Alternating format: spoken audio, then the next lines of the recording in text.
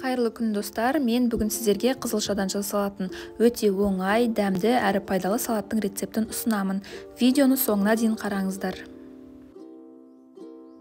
Ең алдымен қызылшаны үкіштен өткізіп аламыз. Бұл жерде үкіштің тісі маңызды емес қаласаңыз үлкеннен қаласаңыз кішісінен өткізсеңіз болады.